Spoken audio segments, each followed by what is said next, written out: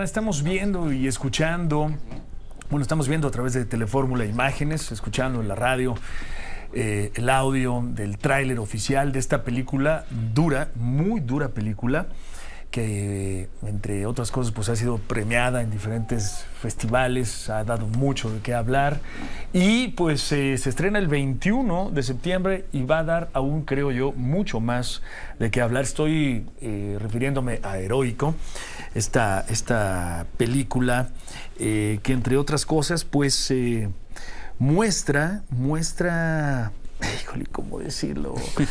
Muestra eh, una parte de la educación militar castrense que pues muchos probablemente desconocemos, nos imaginamos, pero desconocemos y que nunca de alguna manera se había, se había mostrado de esta forma tan, tan, tan cruda como se muestra en esta, en esta película. Digamos que era un tema que se sabía, pero que pues ahí se quedaba y tratándose del heroico colegio militar y de las fuerzas castrenses, pues pues no se, no, se, no se profundizaba, no se tocaba, no se mostraba de la manera tan dura, tan, tan cruda que se muestra en esta película Heroico. Ayer tuve la oportunidad de verla y eh, todavía traigo el trago amargo, se, los, digo.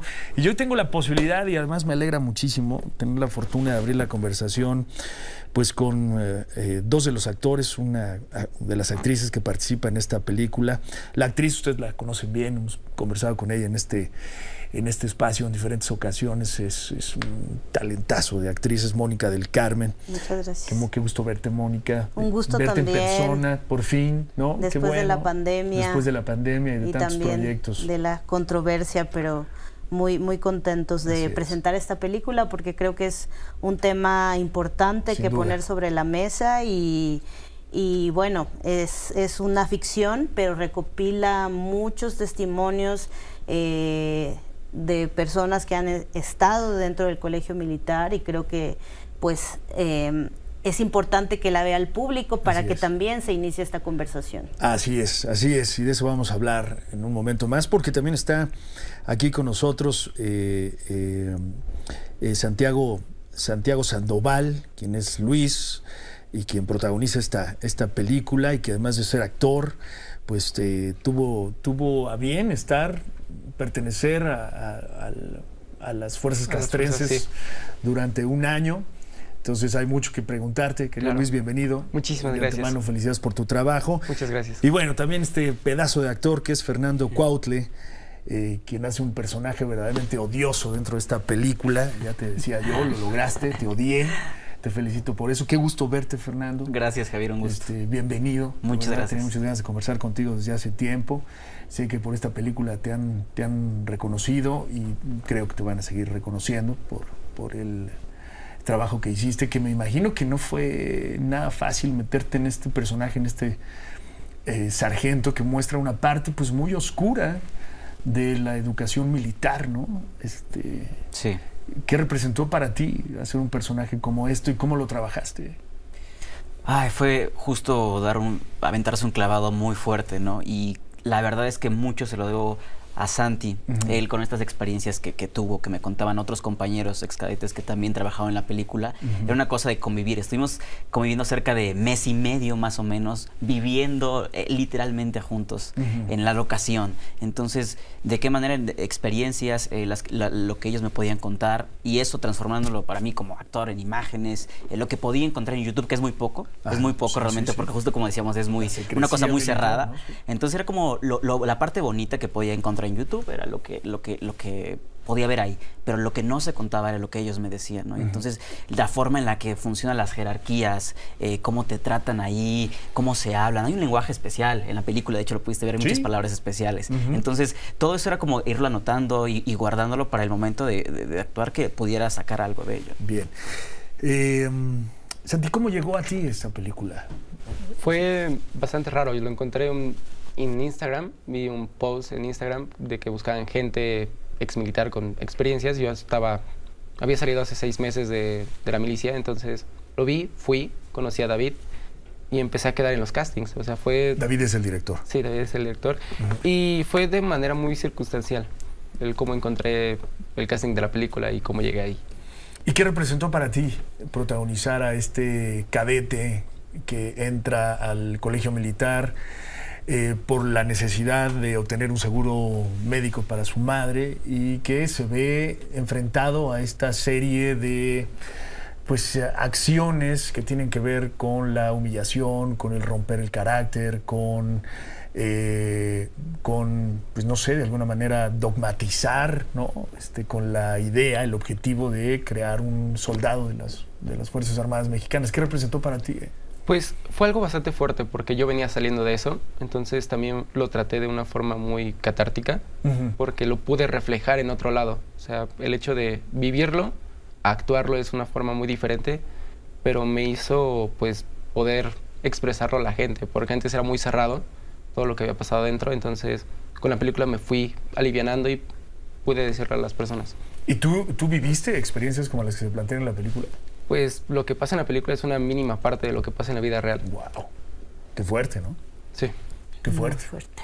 O sea, sí viviste este tipo de vejaciones, de humillaciones, este tipo de claro, acciones. Sí, definitivamente. Conozco personas que hasta la fecha están mal por humillaciones que pasan adentro. Tengo un amigo que le fracturaron la columna y tiene una férula y siete tornillos en la cadera, a uno que le destrozaron las meñiscos de la rodilla. Entonces creo que pasan bastante cosas adentro. Mm.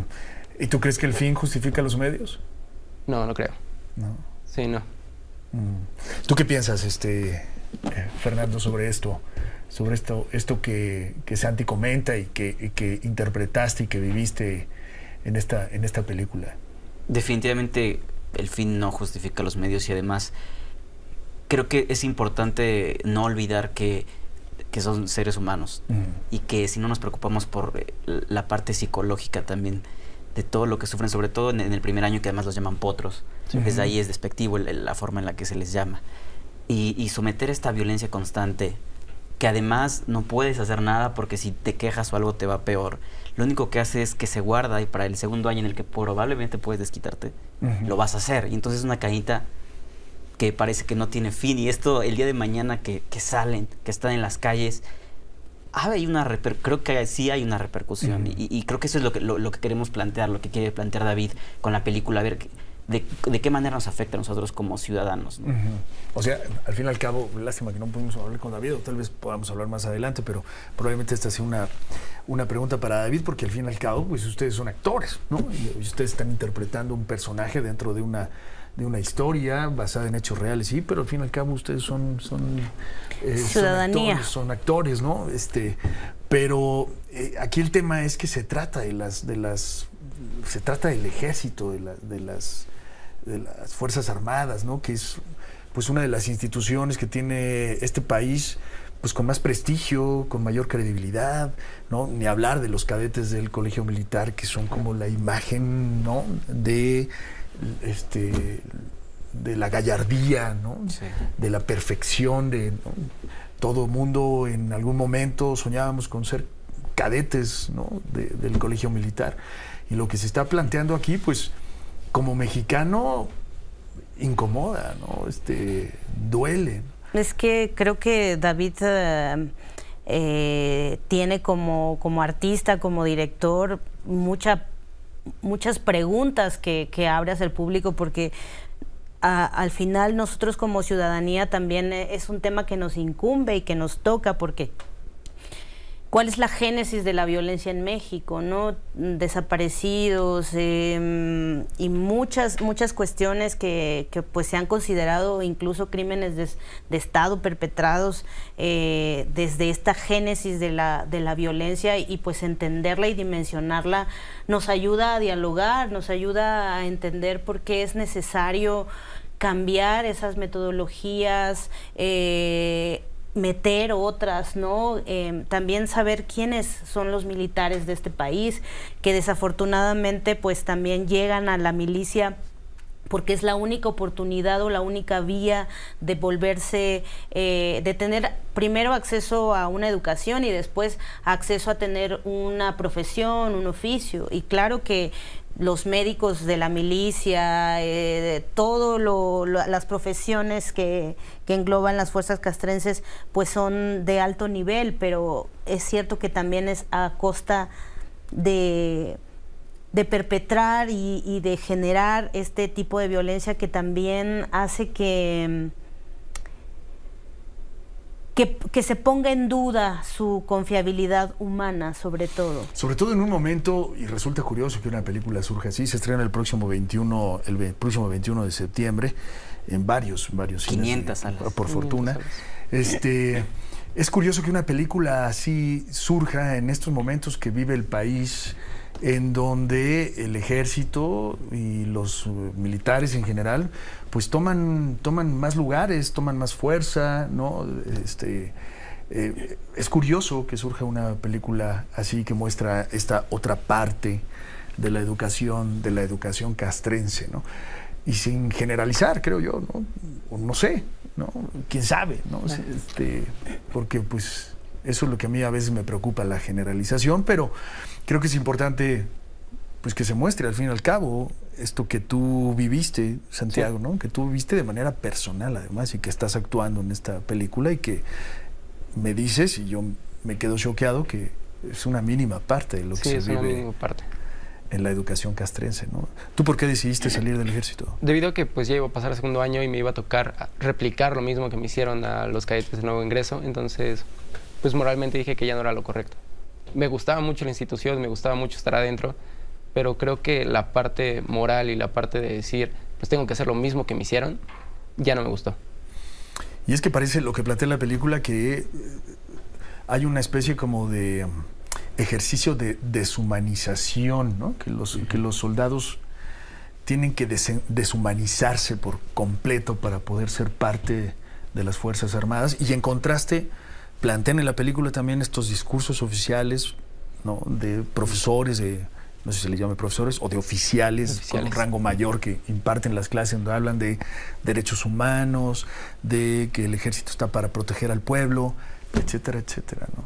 Es, sí, es, y, y es, es además fuerte que estando dentro crees que está bien, está muy normalizado. De hecho, en los comentarios que hemos, bueno, yo he visto varios comentarios que es, pues están entrando militares, ¿qué esperan? Y eh, una normalización preocupante. Así es el ejército. Exactamente. hay que forjar un carácter. Hay que forjar un carácter. por eso decía yo, el fin, forjar un carácter, como si así se forjara un carácter. Les doy la bienvenida, esperando que se queden con nosotros, porque, pues miren nada más a quienes tengo de invitados. Estamos abriendo la conversación con Mónica del Carmen, con Fernando Cuautle, con Santiago Sandoval, todos actores, eh, participan en esta, en esta película que pues ya con el tráiler ha dado cualquier cantidad de cosas de qué hablar, muchos he leído yo, he visto yo también muchas personas que estuvieron en el colegio militar y, y que decidieron no seguir con la carrera castrense, pues se han manifestado al respecto. El tráiler muestra pues solo una parte mínima de lo que muestra toda esta película, cuya intención pues es, dar a conocer esta otra parte, digamos así, el lado oscuro de la luna militar, que difícilmente se veía tan realmente reflejada como en esta, en esta película, que se estrena el próximo 21 de septiembre y que pues va a dar mucho, mucho de qué hablar porque pues se toca a una institución prácticamente inmaculada, que es el ejército mexicano, el colegio militar, etcétera, etcétera. Así es que aquí está, aquí está eh, Fernando Cuautle, quien hace al sargento Eugenio Sierra un verdadero hijo de su mal dormir. y que te decía yo, este, Fernando, que hiciste un gran trabajo porque tú eres un tipazo además, este, eh, quienes tenemos la fortuna de conocerte. Eh, transmites todo lo contrario que transmite este sargento, ¿no? Y eso me imagino que para ti este, fue un reto tremendo, ¿no? Sobre todo me llama mucho la atención, más allá del discurso, del lenguaje de este sargento, al cual hacía referencia, lo corporal, ¿no? este, estas tomas cerradas en donde se ve tu rostro, un rostro lleno de resentimiento, de odio, de revancha, ¿no? De, no sé, también como que mucha, mucha hambre, ¿no? De esa hambre mala, de lograr, de lograr sobresalir. Sí, digo, desde que empecé a trabajar con David, el personaje, teníamos claro que no queríamos hacer un villano como malo, malo, sí, en la película hay muchos momentos que hay como matices, es decir, es, es una, una persona al final con cosas buenas y malas y un pasado también. Entonces, esta cosa que quisimos construir este, este ser es alguien que te puede gritar, sí, pero también te puede abrazar y te puede, te puede hablar bonito al oído y tal vez te puede a través de la seducción o de algo. Manipulador. Exactamente, ¿no? Y, los manipuladores no muchas veces son de, ah, al contrario, ¿no? Es muchas más. son encantadores. exacto. Y es lo que pasa con este personaje, que es una cosa más encantadora para que pues la gente se acerque a él, ¿no?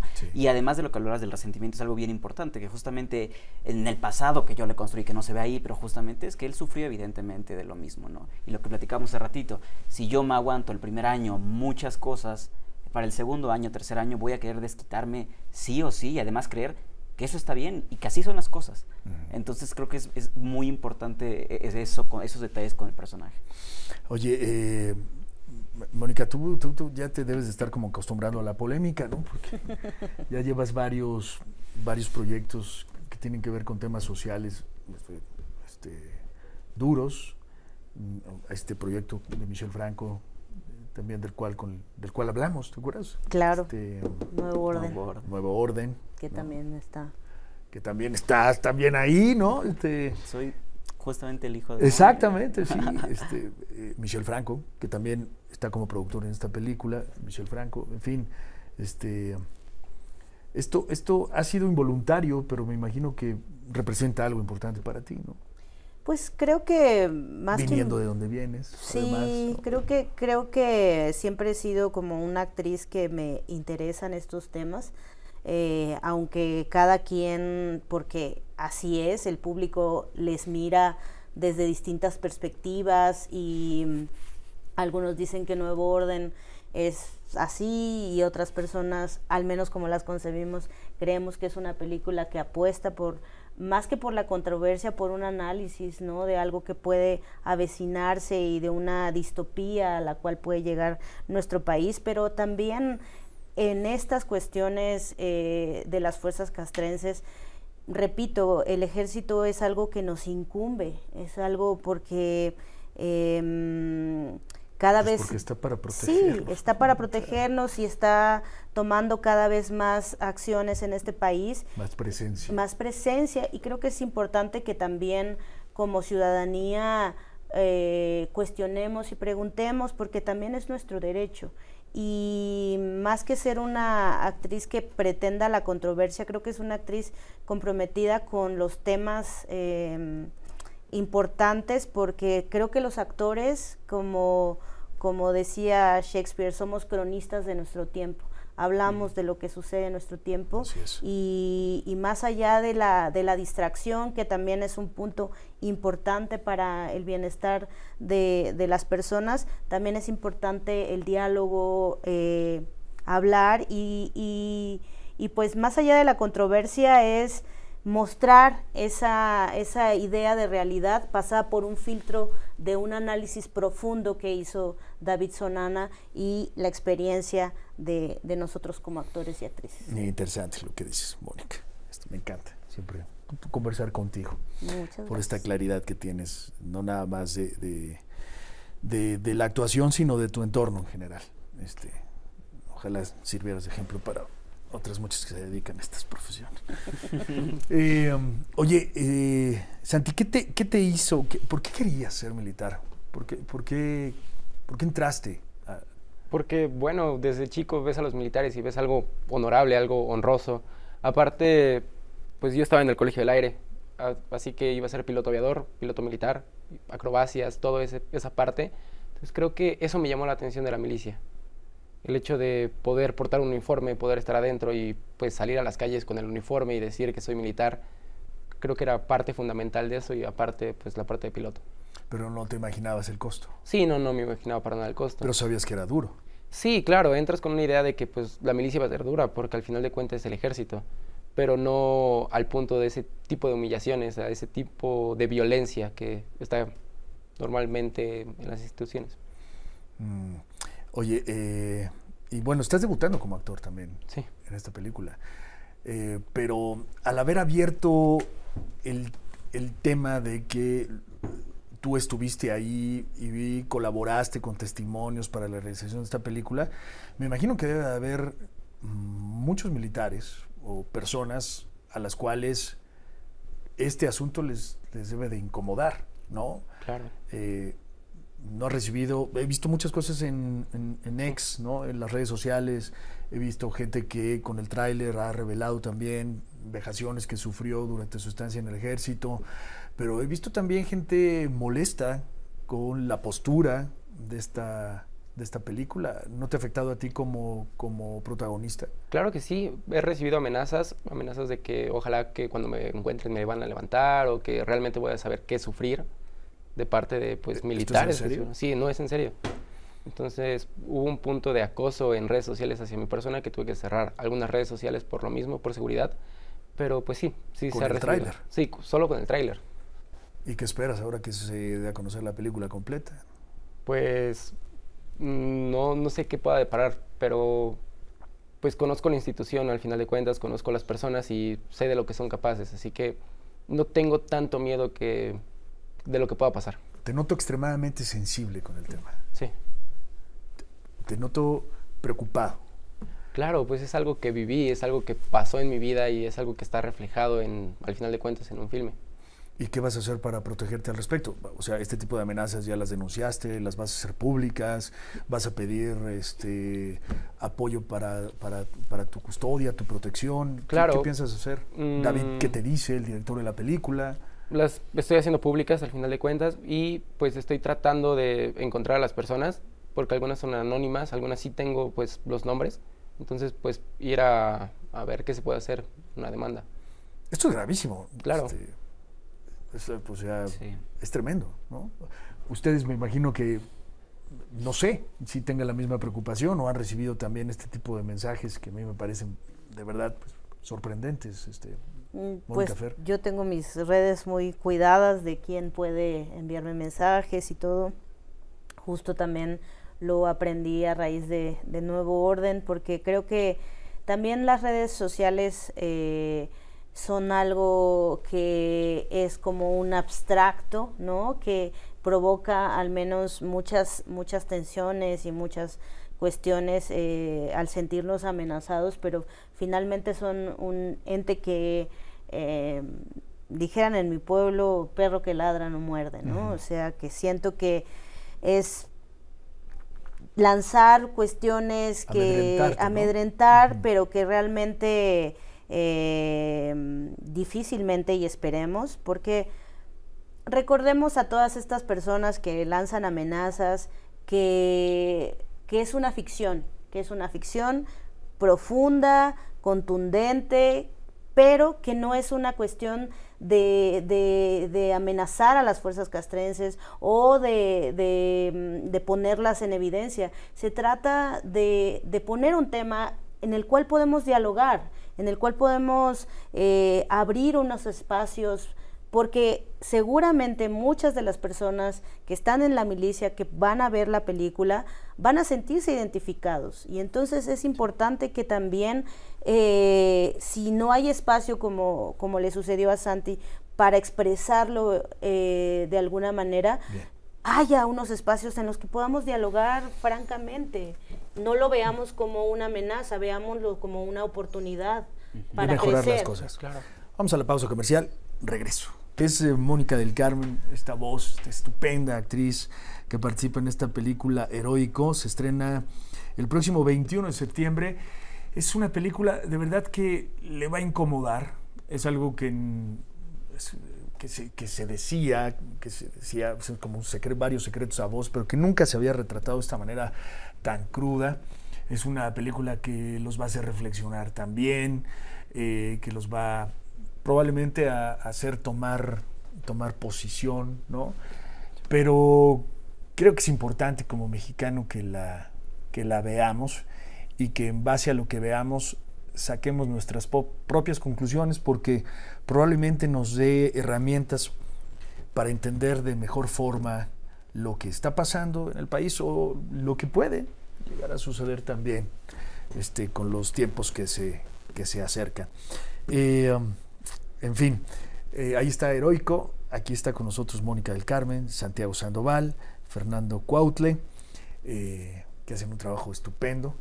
y que pues me imagino que debió de haber sido un reto tremendo, sobre todo para ustedes dos. Este, bueno, para ti también, Santi, porque te convertiste en actor además. Sí, claro. Aquí, ¿no? ¿Vas a seguir con la carrera? Me gustaría muchísimo. ¿Sí? Sí. Sí. Es dura la carrera, digo, no tanto como la castrense, ¿no? Pero claro. también se cuecen habas, ¿no, Moni? Pero no.